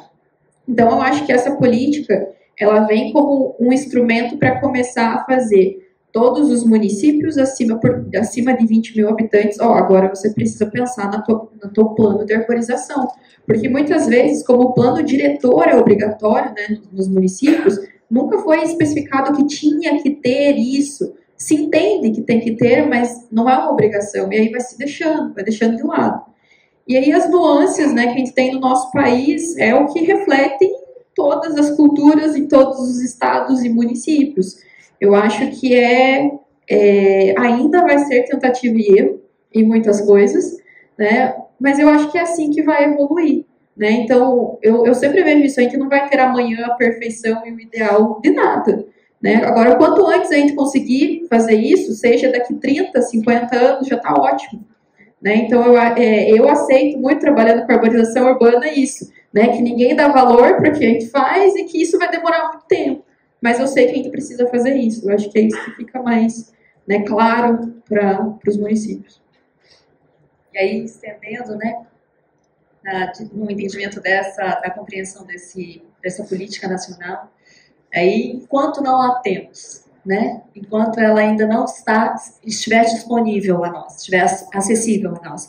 Eu até vou continuar aqui, que para o planejamento, a introdução ao planejamento das cidades, visando a valorização da arborização urbana, como elemento fundamental ao equilíbrio dos ambientes urbanizados, como podemos introduzir uma legislação específica, bem estruturada e planejada, para melhorar a qualidade urbana? Eu acho que a legislação hoje a gente já tem, tem, tem muitas possibilidades, tem muitos municípios com boas leis, né, políticas mesmo de arborização. Então vejam, a gente está criando uma lei nacional, mas que na verdade também é um reflexo de muitas políticas e muitas leis de diversos municípios. E assim, aí, aí eu, eu caio nessa novamente assim, tem muita informação e tem muito conteúdo né, científico, técnico, mas eu acho que não está tão fácil, né? Eu, eu, me deparo de ver que de fato não está tão fácil esse acesso, né? Então eu acho que é o, a busca, né? E as parcerias, porque quando você me fala isso que não tem, eu, amanhã eu te passo muitas coisas que eu acho que ajuda, né? Mas que a, até então não chega a gente, por exemplo, a esse tipo de, de situação. Então, a gente tem algumas publicações hoje que estão facilitando muito a vida né, das pessoas e, e, que estão aí disponíveis, mas que por algum motivo, né, eu falo isso, é a nossa falha da, da universidade de não divulgar aquilo que a gente faz, é, eu acho que é esse problema. Então, eu acho que as parcerias né, entre as instituições, as prefeituras, eu em Viçosa, eu tenho uma relação direta com a prefeitura, o tempo todo eles me chamam para ver o que, que eu faço em tal local. Então, eu acho que tem que ter mais também essa boa vontade, sabe, do funcionalismo público entre as instituições, né, para crescer, para desenvolver aquele local onde você está, né, contribuída da melhor forma possível.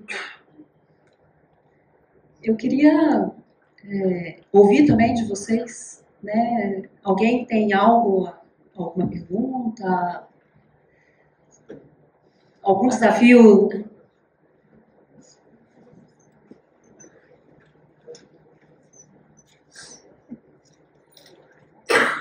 Boa tarde a todos. Oi, Angelina, obrigada por ter vindo compartilhar seu conhecimento conosco. Printei, tirei foto de muitas coisas que eu vou pesquisar depois e te chamar depois para conversar, tá? Quero aproveitar um pouquinho a sua vida aqui, além da palestra, claro. É, a minha dúvida, eu sou analista de projeto, também sou diretora de aprovação de projeto, planejamento urbano, mas é, a gente não, não, consegue ficar só na gestão, né? Se até o secretário analisa processo, quem dirá os diretores, né, Larissa e Roberta? Né? Então, eu analiso muitos projetos e é, uma coisa que eu observo muito é a resistência das pessoas, sabe? A gente tem alguns problemas na legislação, mas acho que o maior problema que nós temos é, é, é fazer cumprir a legislação, a cultura, né? Por exemplo, é, a nossa lei ela já traz que a faixa de serviço deve ser pavimentada, a faixa de serviço da calçada. E a gente convencer o cidadão de que isso não, que ele tem que cumprir, sabe? Nossa, é um desafio. Aí, de repente, você se pega negando um habite da pessoa porque ele não pavimentou, porque ele pavimentou né, essa faixa de serviço, Aí você tenta explicar a questão de drenagem, a questão dessa própria árvore, que se ele pavimenta tudo em volta, ela vai cair depois e vai dar problema. Gente, esse trabalho de convencimento é muito difícil.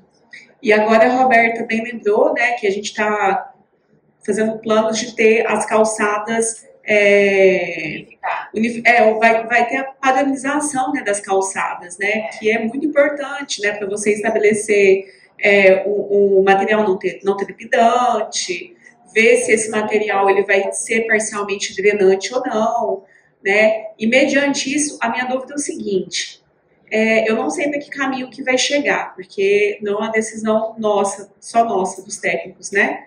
Então, o plano diretor tem discussão, a comunidade vai participar, mas eu queria saber se, no fim dessa discussão das calçadas, se a gente não conseguir, por exemplo, que seja um revestimento 100% drenante ou parcialmente drenante. Se essa parte ali da faixa de serviço, se já seria suficiente para a gente manter a saúde da, das árvores.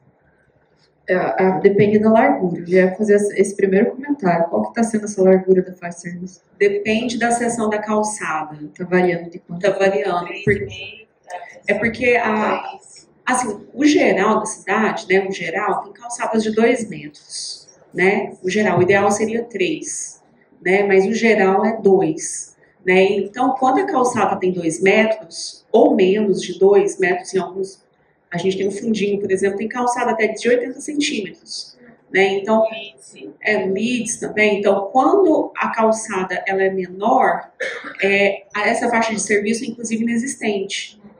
Tá? Então, ela não tem faixa de serviço porque a mobilidade nos obriga a privilegiar a mobilidade né, do pedestre. Tá? Então, se tiver que sacrificar essa faixa de serviço em razão da faixa de circulação, a gente segue assim por causa da, da, da regra geral de mobilidade urbana. Pensando nisso, numa calçada padrão 2 metros, entendendo que a acessibilidade você tem que ter um passeio de no mínimo 1,20m, mais recomendado 1,50m, sobra 50 centímetros ou 70, né? 50 centímetros a 70, gente, árvore de verdade a gente não consegue plantar. O que a gente vai conseguir plantar é arvoretas, né? Que são os nossos arbustos conduzidos. O que a gente tem que pensar? Se eu tenho 50 centímetros de largura e as minhas árvores vão ter ali 30, 40, ela vai ocupar toda aquela faixa. Então, eu consigo colocar árvore ali? Eu consigo. Ela vai se desenvolver? Vai se desenvolver. Mas é por isso que vai estourar a calçada depois. Isso vai acontecer. Né? Ah, tem espécie. Não é a espécie, é o espaço. Eu preciso de espaço para o desenvolvimento das árvores. Eu vi, né, no pouco que eu, que eu, que eu observei aqui, que tem muita cibipiruna. Cibipiruna, a gente precisa plantar numa calçada, você vai ter que ter o ideal um metro e meio de largura de canteiro. O, o ideal, assim, a regra para mim é sempre quanto mais largo, melhor. Só que eu sei que a gente tem que trabalhar com o mínimo, sempre. Então, assim, Sibipiruna é essa realidade. Agora, conforme a gente vai diminuindo o tamanho das árvores, né, a gente consegue colocar mais em espaços menores. Uma outra observação nesse sentido é quanto menor o espaço, menor as árvores, mais árvores eu vou ter que plantar para fazer sombra, porque as árvores são menores. Então, existe essa relação também, que se eu planto árvores grandes, eu planto menos quantidade de árvore. Porque uma árvore só, ela vai ocupar o espaço, às vezes, de três, quatro. Né? Então, a gente tem que entender essas questões. Muitas das cidades onde tem essa situação da calçada estreita, hoje as estratégias que estão sendo adotadas é ocupar vagas de carro, de estacionamento. Então, por exemplo, se as vias têm estacionamento, você não acaba com todo o estacionamento, mas de tanto, de tanto estacionamento, você abre ali, daí um canteiro de quase dois metros de largura, trabalha aquele solo para você conseguir colocar árvore. Porque senão você vai ficar brigando com algo que muitas vezes não funciona. Então, para plantar árvore com 50 centímetros, assim, realmente eu falo no mínimo 80 de largura. Para você conseguir pensar em opções, senão você sempre vai ter que ficar colocando. Eu, não, eu, vou falar, eu ia falar murta, mas aqui não pode plantar murta. É, é, espécies pequenas, e isso não é interessante para uma cidade. Né? Mas é o que dá para fazer. Então, muitas vezes, o que dá para fazer é, de tanto em tanto, plantar menor quantidade de árvore, mas que o efeito vai ser mais é, expressivo. Agora, isso é para ter árvore. Para a questão de permeabilidade, é melhor do que nada sempre. Eu acho que a grande questão, e o que eu fiquei sabendo aqui do, dos rios canalizados, é ter essa preocupação maior nessas áreas. Nessas áreas ali, de, é, tem que infiltrar água, né? Senão você não, você não vai resolver isso. Então, assim, não, não acho suficiente. A palavra certa é essa. Para uma calçada de dois metros, não, não é suficiente. Mas se é o que tem, às vezes é melhor manter o padrão da calçada, só com canteirinho para infiltrar um pouquinho de água e pensar em arborizar de outras formas. Porque vai ficar sempre brigando né, com o ambiente. E a outra coisa que eu falo muitas vezes é quem tem a mania do ser simétrico, né? Às vezes a gente vai ter que pensar em priorizar só arborizar um lado e deixar o outro sem nada, do que ficar sempre fazendo tudo igual do, em ambos os lados. Eu sei que funciona para nossa cabeça muito bem isso, né? A gente sente mais, mais tranquilo. Mas às vezes vai ser essa a, a estratégia para situações como essa. Isso eu estou falando principalmente em regiões densamente já consolidadas. Né? Agora. As novas já são calçadas de 3 metros e a faixa de servidão 70. É de 70. Dá para largar isso aí também, né? Por que 3 metros? Só precisa de um e-mail para passar, uma pessoa cadeirante e tudo mais. Mas dá para deixar aberto para infiltrar. É, mas o loteador quer lote, né? quer, quer rua, quer Mas não é 3 metros o padrão da calçada? Agora, já, dos novos, desde 2018, sim. Então, mas aí desses 3 metros, para as pessoas caminharem a calçada funcionar como um passeio, você ter só um metro e meio funciona já. Você sobra ainda um metro e meio de, de área que você pode colocar permeável. Não, a gente vai analisar isso sim. A gente vai discutir, né, Larissa? Discutir também com os empresários, também colocar a proposta junto no, plano diretor que pode fazer para a gente aumentar essa faixa de servidão. Mas sempre a regra é quanto mais canteiro, área permeável, é o que vai funcionar. Mas a gente já está indo nessa linha. Depois do Parque Una, né, eu acho que deu uma.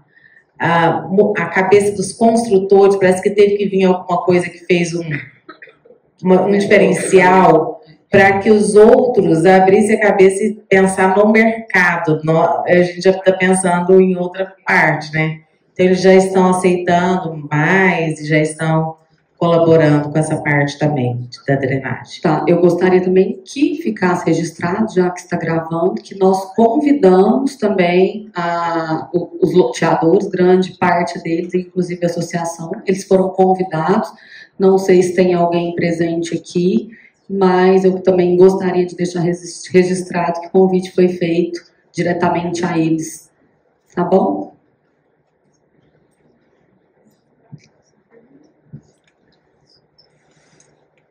Boa tarde. Professor, eu queria é, fazer uma pergunta, sair um pouco da questão técnica, que é extremamente importante, mas como a Larissa já disse, nós somos aquela equipe, né, o pessoal que está aqui, que trabalha com a manutenção. Então, assim, eu queria, na verdade, é, aproveitar da sua experiência é, e ouvir uma dica de como lidar com a romantização porque isso incomoda mais do que qualquer outra coisa. A nossa cidade foi construída é, com pessoas que vêm do interior. E o que, que nós tínhamos lá? Quintais. E os quintais agora são os canteiros centrais, são as praças. Então isso é, nos destrói por dentro. Porque quando você chega para executar algum tipo de serviço, é, você se comove junto com a pessoa. Nós temos árvores para tudo, para homenagear pessoas que isso aqui para pessoas que ainda vão nascer, os animais de estimação. É isso aí. Olha, eu não sei se eu sou a pessoa mais indicada para tentar falar sobre isso.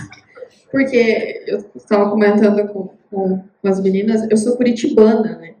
E é uma realidade completamente diferente disso, a, da onde eu vim.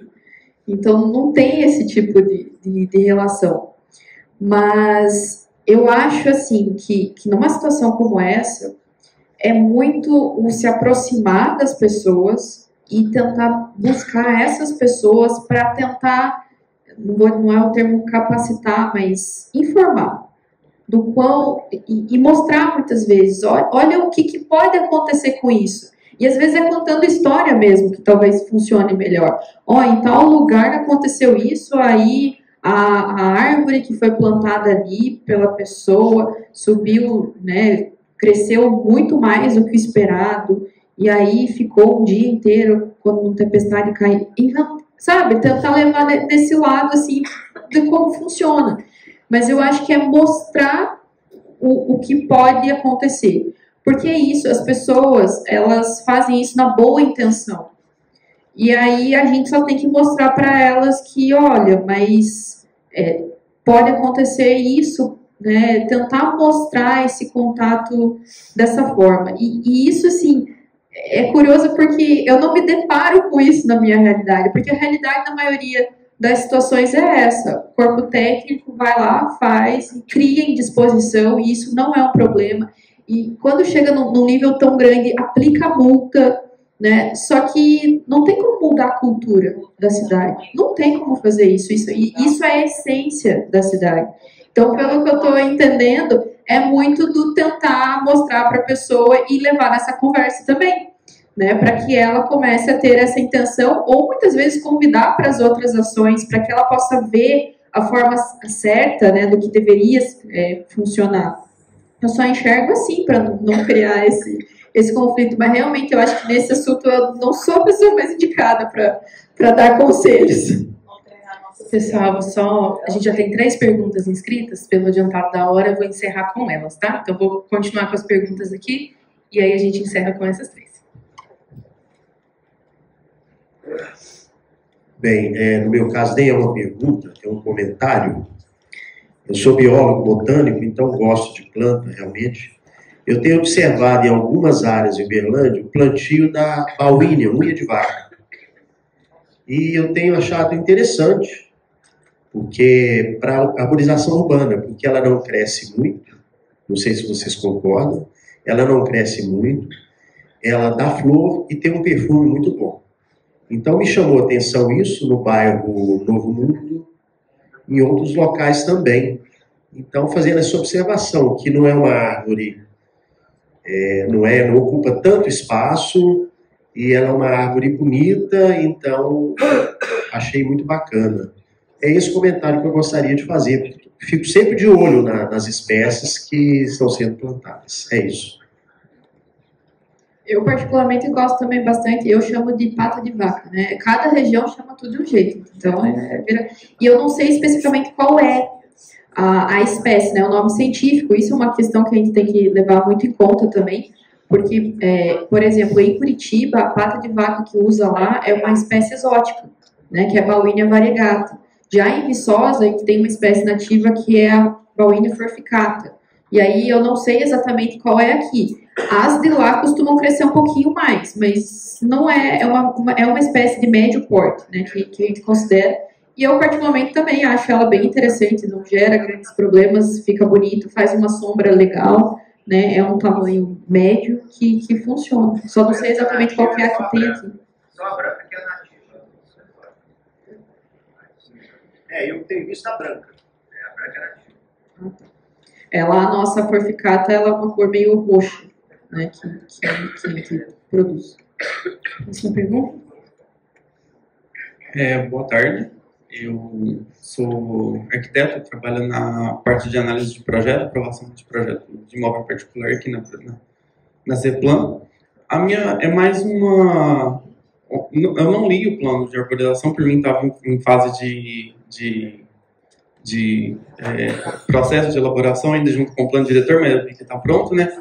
Assim, só é uma questão de, se tiver lá, tudo bem, mas assim, se prevê essa questão de que a, ela até falou que é impossível a gente mapear e, ou, é, e ter essa questão de, de, de, todas as árvores da cidade. Mas o que a gente tem aqui, tudo para liberação de alvará, a gente tem que ter o plantio da árvore na calçada. E o que acontece? A pessoa planta, pega o abitse e arranca a árvore, a maioria das vezes.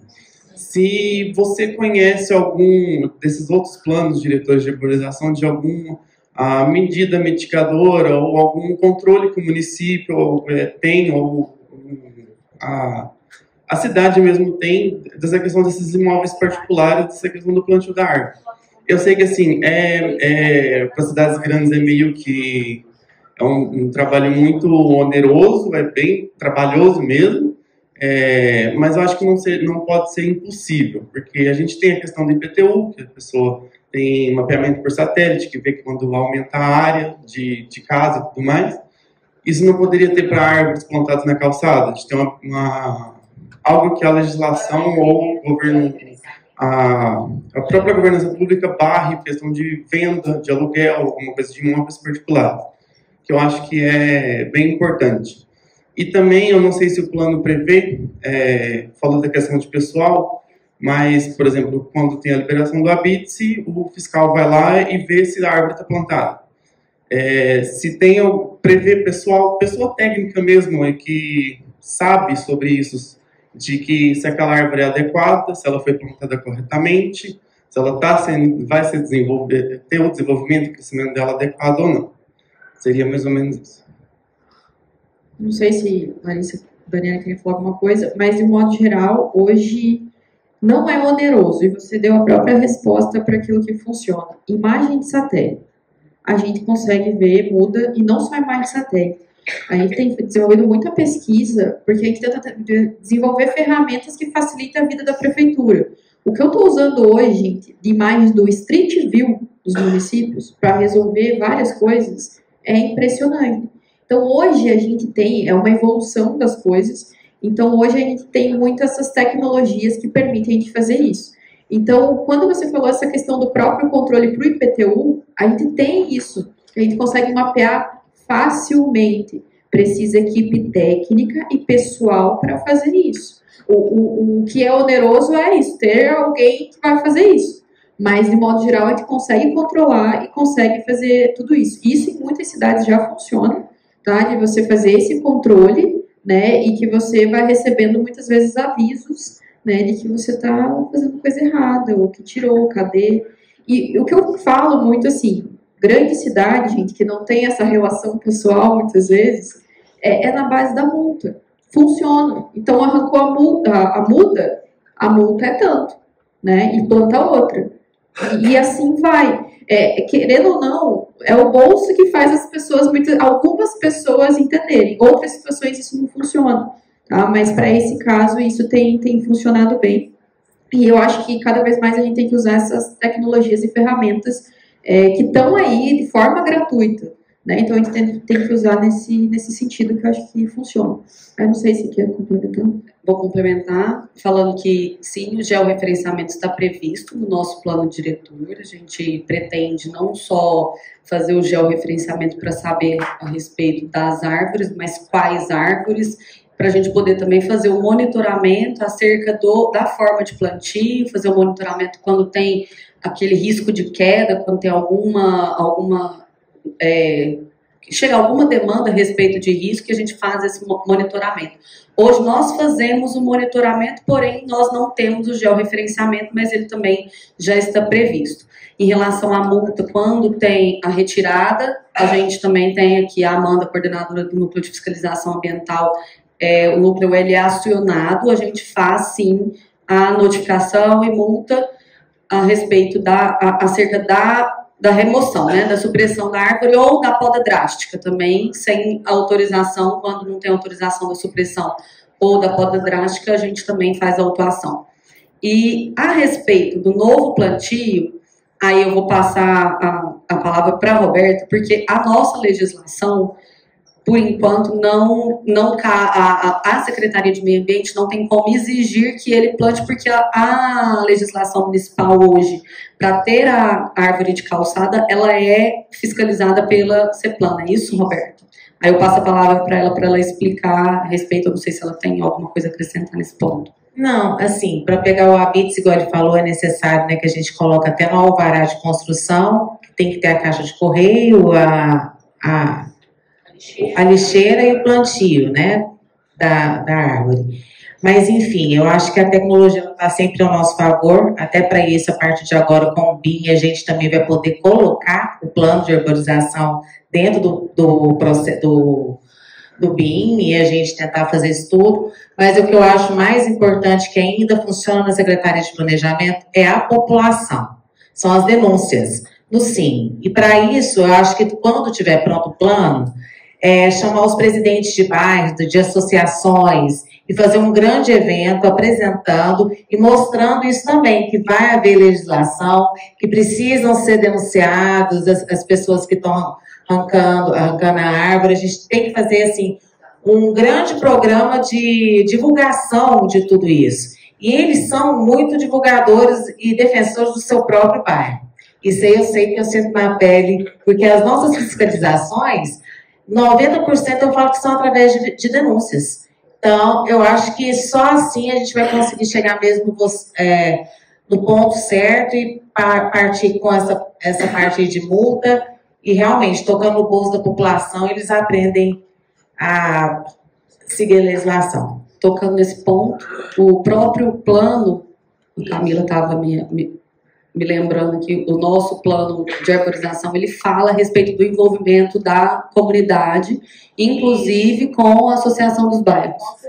Né? Então, o nosso plano ele prevê, ele faz, é, mas é, é, a gente que conhece, né, Roberta, do, da gestão, a gente sabe o quão importante é esse registro. E a gente sempre, às vezes, recebe mais a demanda da, da TV do que o registro da população no próprio SIM, por exemplo né, que é o sistema de informação municipal que nós temos, que a própria população pode nos, nos, nos acionar e nós vamos. E o SIM ele é muito importante para registro, até de reincidência.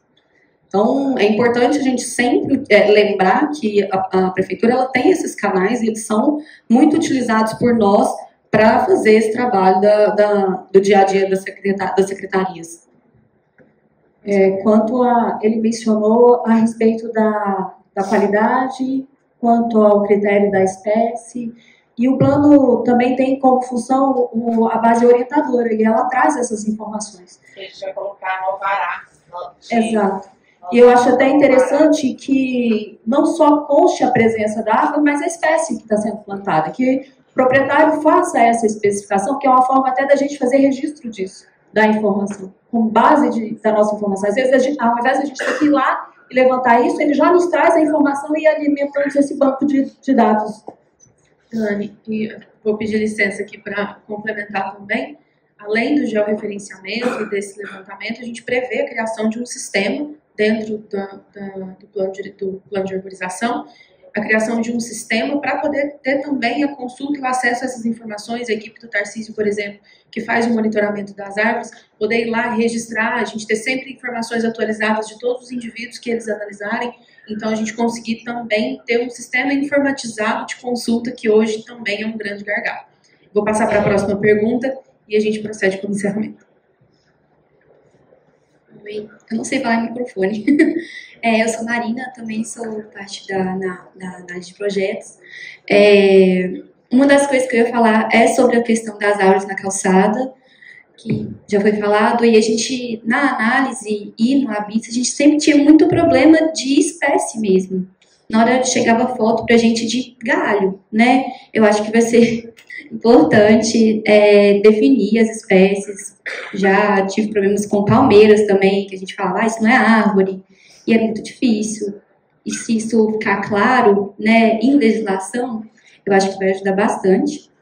E a dúvida que eu tinha é, na legislação tem uma parte que fala na impossibilidade de uma construção, né, de ter área permeável ser utilizado o poço de infiltração. E a gente fica, às vezes, muito refém de não saber se isso funciona de verdade, assim, o cálculo e a real funcionalidade disso, entende?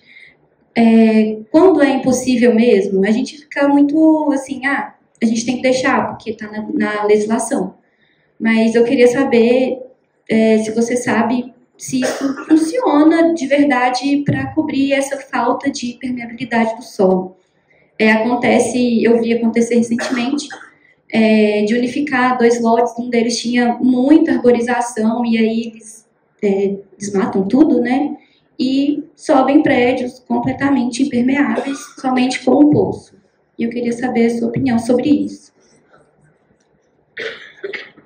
Não funciona é o método arcaico de fazer e nunca vai funcionar no sentido assim, isso é uma alternativa que se cria para você poder cortar toda a vegetação e construir. Não tem outra palavra para dizer isso, né? Eu acho que essa, essas são as questões mais importantes assim, que a gente se acostuma a fazer uma coisa e acha que aquilo também é, é, é o né, que funciona eternamente. Então, como ah, as cidades foram implantadas há 200 anos atrás, está funcionando até hoje. E está funcionando, só que a gente tem que sempre entender que sempre dá para melhorar. Né? Então, funcionou desse jeito, mas e agora?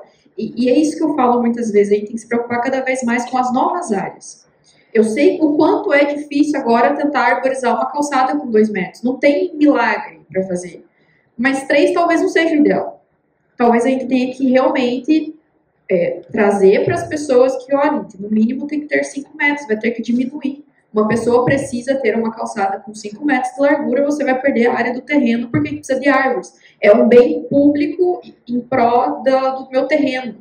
Só que isso não é simples culturalmente falando, né? É dinheiro envolvido, mas eu acho que a grande questão é o quanto a gente dá abertura para isso acontecer ou não.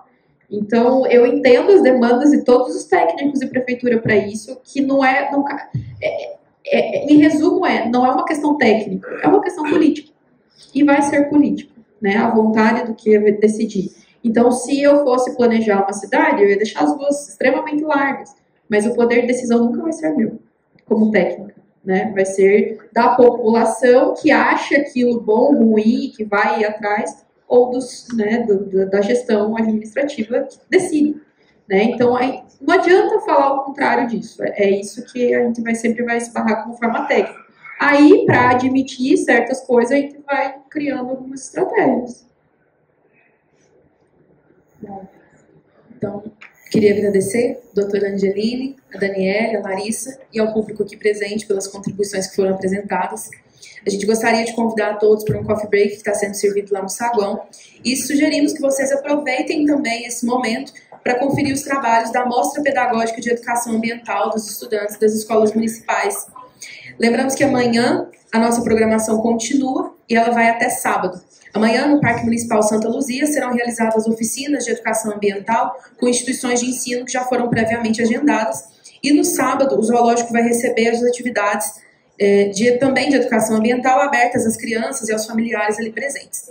Também no sábado a gente convida vocês a prestigiar a Mostra Pedagógica de Educação Ambiental nas escolas municipais, que vai acontecer em toda a rede de ensino, com trabalhos produzidos pelos nossos alunos com temática ambiental. Em nome do prefeito Adelmo Leão, a gente agradece a presença de todos e a gente se vê em breve. Boa tarde.